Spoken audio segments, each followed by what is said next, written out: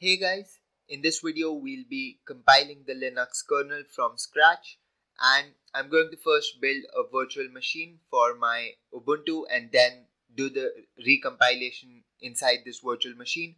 I would highly recommend using a virtual machine instead of uh, just doing it directly on your machine because it's always safer.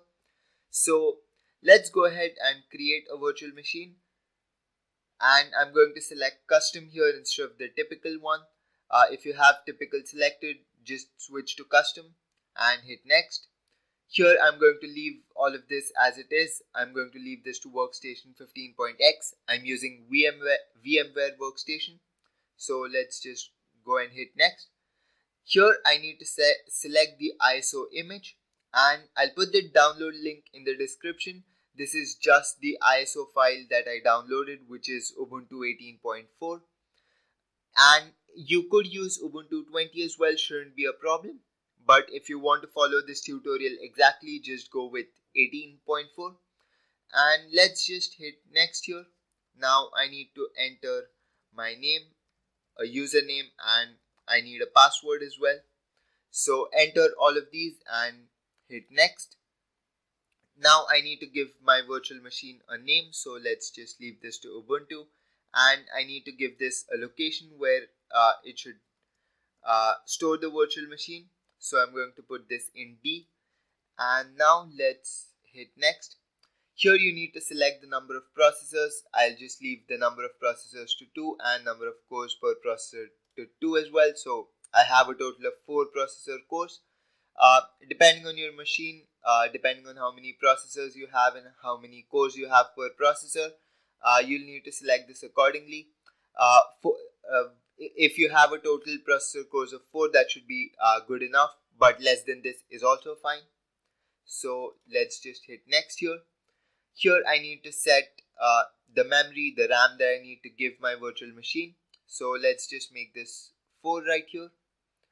And once again depending on how much RAM you have in your machine you could uh, tweak this accordingly. I'm going to leave this to 4 so let's go ahead and hit next this is for my network so I'm going to leave it to NAT itself.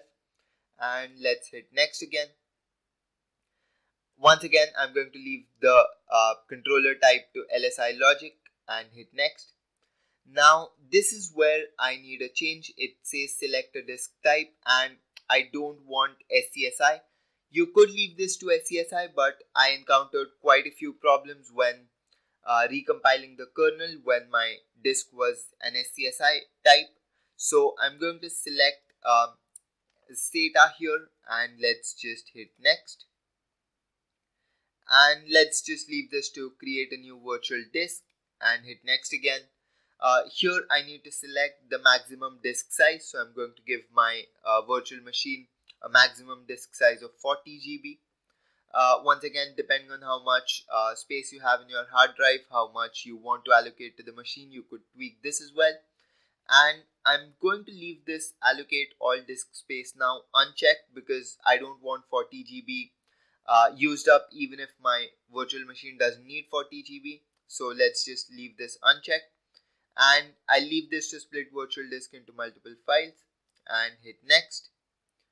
Uh, this is the file that it's going to create I'm just going to leave it to ubuntu.vmdk and hit next again. Remember I don't want to power on this virtual machine after creation. Uh, there's still some changes that we want so make sure you have this checkbox unchecked and hit finish right here. Once you hit finish you should have a virtual machine created. Here I have my Ubuntu virtual machine created. And go into edit virtual machine settings and in this you should find the options tab. Uh, in the options tab go to advanced. And in firmware type switch from BIOS to UEFI. And that's all the change that I needed. Hit OK. And let's just check once again. Uh, my settings I have my hard disk which is uh, 40 GB and then I have uh, it's a CD DVD 2 this is my actual ISO image that I'm uh, using to uh, boot from the first time before I when I don't have Ubuntu installed. So let's hit uh, make sure you have connected power on uh, checked initially. We are going to be unchecking this later. So let's just hit ok. And power on this virtual machine. After you power on this should give you uh, a standard ubuntu installation. So just go on to uh, install ubuntu let's just switch to a full screen mode here So when I say install Ubuntu, it's going to take me through the entire installation process for Ubuntu. Uh, should be pretty straightforward. So um, I'm just going to go through this very quickly and I'll probably speed up this part right here. Uh, hopefully you shouldn't encounter any, any problem here. Let's go with English. And English US is fine normal installation and I'll just check the third party software as well. So let's hit continue.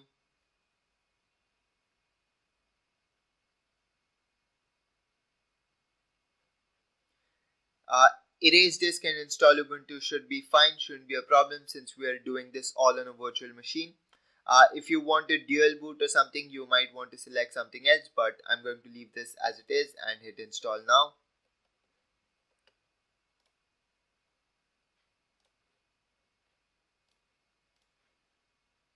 and here as well continue I'm in India right now so select that and continue um, this asks me for my name. And it's going to give my computer as well a name.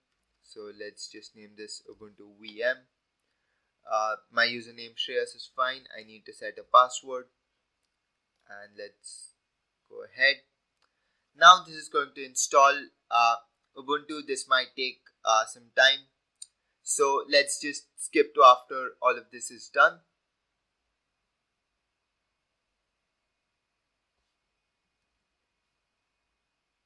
Alright, so the installation here is done. Uh, it says I need to restart now, so let's just do that.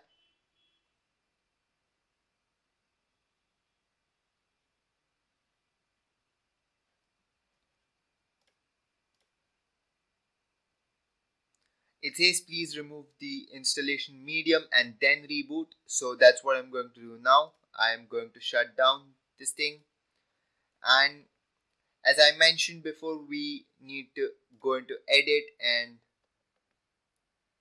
and for the actual ISO that I was uh, booting from I need to uh, uncheck connected power on. You could also just remove this entire thing but uh, if you just unselect this box it should be fine.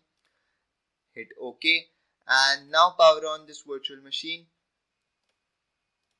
And now let's actually get into recompiling the Linux kernel. So I first need the code for my Linux kernel.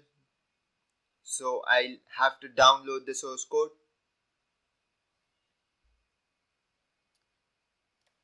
So head over to kernel.org so here I can find the 5.8.10 that's the one that I'm going to download.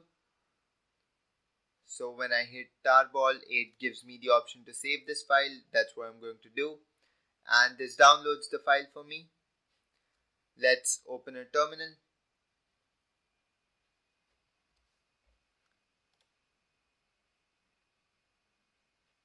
And my download is complete.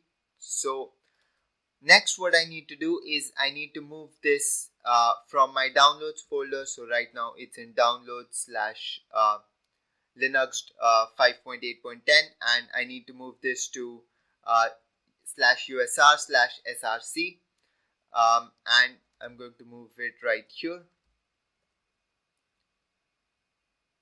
So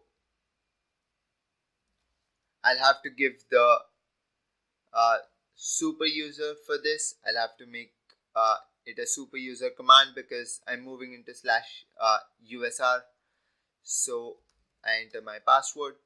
And actually what might be simpler here is to just uh, log in as a super user. So to do that just hit uh, sudo su. And um, you might have to enter your password here uh, I didn't because I just entered it. Now navigate to uh, cd slash usr slash src. So I navigate there.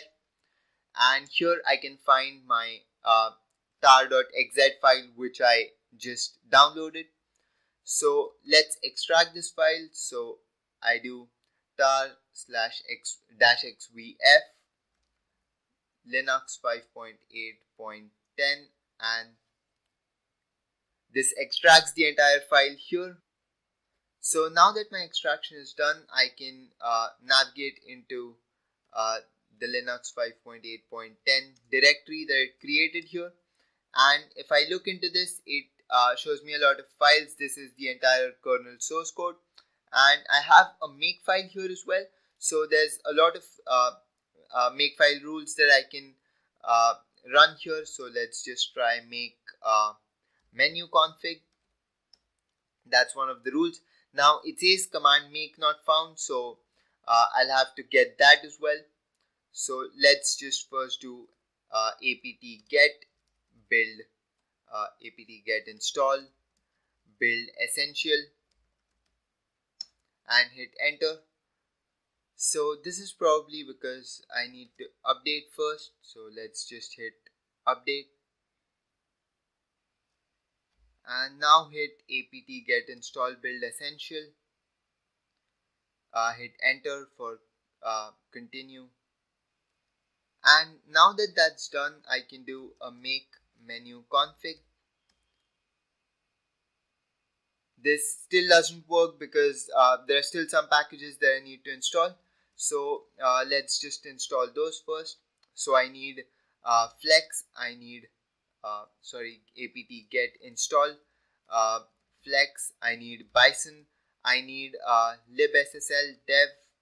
I need lib elf dev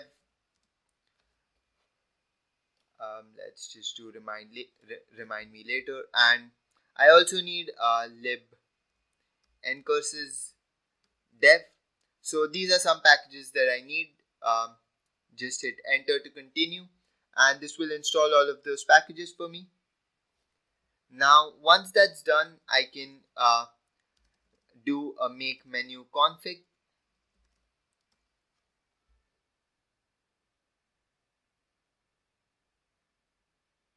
and this opens up a configuration menu for me.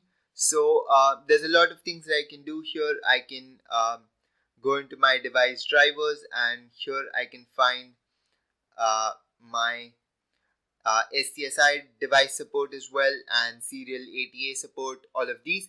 So uh, if we did do the S if we selected the hard drive as SCSI we would probably have to make some changes here which is why I just uh, went with uh, serial ATA. So let's just exit from here and I'm going to say no to uh, saving the new configuration because I didn't change anything yet. Uh, here another command that I need to run before I actually uh, give the make command for my uh, kernel compilation is uh, make def config. What this does is it makes a default configuration file and writes it to the .config file so that done now what I can do is uh, I'm just going to give the make command. Let's uh, first just check my number of processors. Uh, processor cores actually so I have four.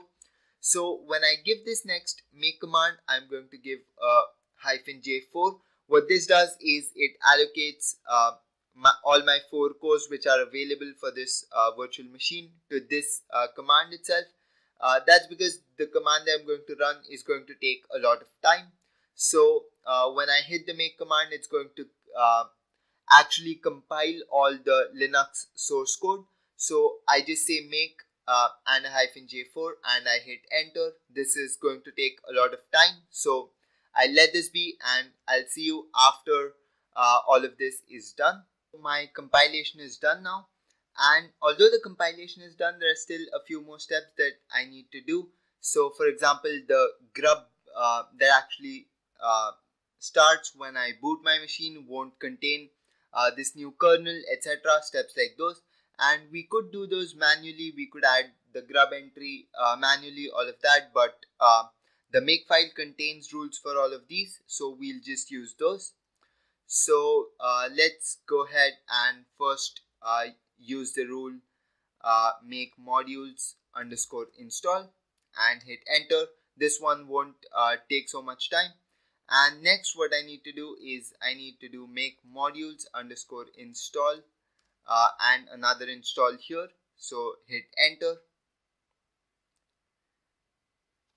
And at this point uh, this one as well won't take too much time. Uh, at this point just make sure that where it says update init ramfs uh, you're not getting uh, any message which says no such file or directory. Uh, if you are then that's a problem. You probably uh, went wrong somewhere. So I was getting that error earlier but um, I think after I switched to UEFI and um, all of that the error disappeared. So uh, now once I do make install install uh, I'm done with my uh, with all of the steps that I need to recompile the kernel. So all I need to do is now uh, reboot my machine. So one thing I want to point out here is that uh, when I run these makefile rules uh, by default the the Ubuntu option that that appears in the grub has been uh, modified to point to this new kernel now.